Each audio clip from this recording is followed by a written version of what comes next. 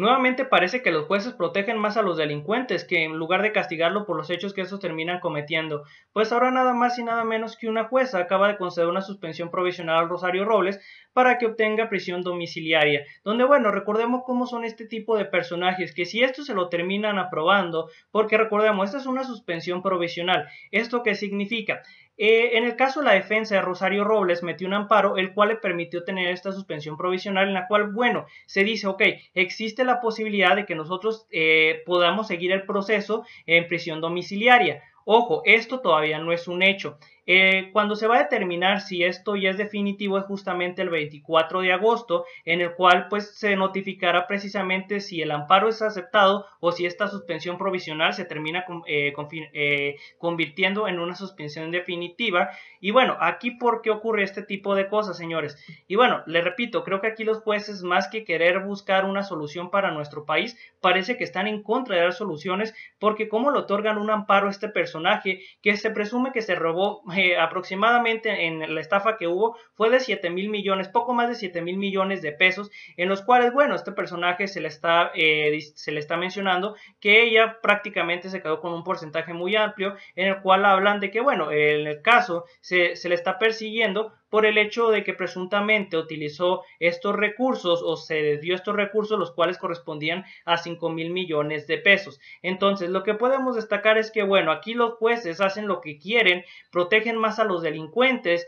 protegen más a aquellas personas que violan la ley que aquellas personas que no lo terminan haciendo. Pero bueno, vamos a leer un poco de la nota y vamos a determinar quién fue esta, esta jueza, la cual determinó que bueno, es probable que en algún momento se establezca esta suspensión de carácter eh, pues no definitorio, pero que puede llegar a serlo. En donde, bueno, ¿quién es esta jueza? Nada más y nada menos que María Dolores Núñez eh, Solorio, la cual es básicamente titular del juzgado cuarto distrito de amparos de la Ciudad de México, la cual pues fue la que otorgó esta suspensión provisional tras básicamente en el caso de la defensa de, de Rosario Robles que terminó metiendo un amparo, donde bueno, tenemos que destacar varias cosas. Cuando estos personajes terminan eh, pidiendo pues prisión domiciliaria no es para quedarse en sus casas necesariamente, es precisamente para retirarse del país y volarse con todo el dinero que estos personajes se terminaron quedando.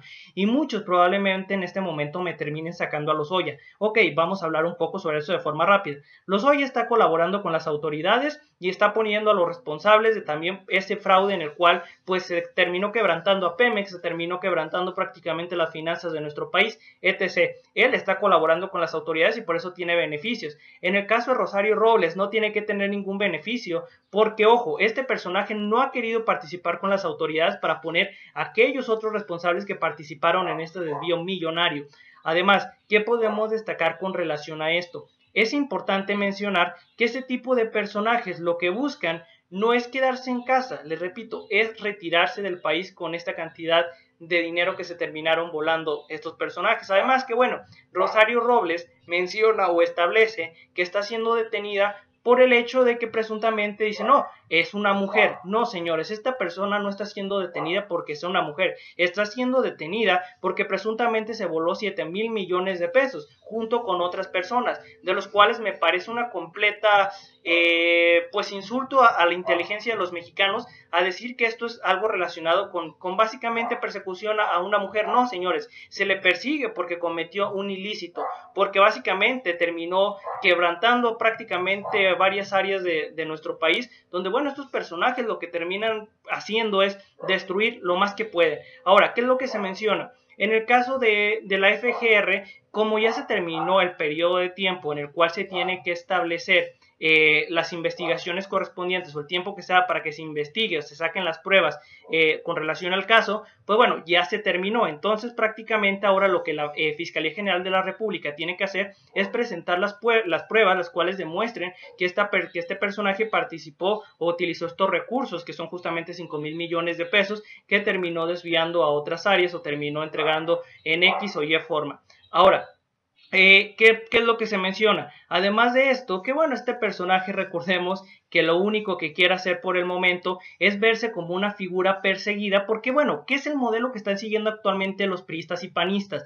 Ellos dicen, no, esta es una persecución política, no, señores, todo está básicamente fundamentado y hay carpetas de investigaciones, las cuales no solamente corresponden a investigaciones internas de nuestro país, sino que también corresponden a, carpetas de investigaciones en el extranjero. Le doy un ejemplo, actualmente hay, eh, no voy a decir que una carpeta de investigación directa, pero sí hay pues algunas indagatorias por, por prácticamente la DEA sobre un gobernador que es panista, el cual imagino que también dirá que es persecución política, pero bueno, aquí lo que vemos es que estos personajes son capaces de escudarse en un movimiento con el objetivo de que luego estos terminen siendo libres. Y estas autoridades, mejor dicho, estos jueces, lo que terminan haciendo es otorgando ese tipo de cosas. Pero ojo, le repito, todavía no se puede ir eh, o no se puede retirar de donde se encuentra en este momento en prisión. No, porque este, esta suspensión es temporal, todavía no es definitiva. El 24 de agosto se determinará precisamente si esta suspensión eh, deja de ser eh, provisional y pasa a ser una suspensión definitiva. Ahí es donde se tiene que mencionar esto. E incluso hay algo que se tiene que destacar, que esta,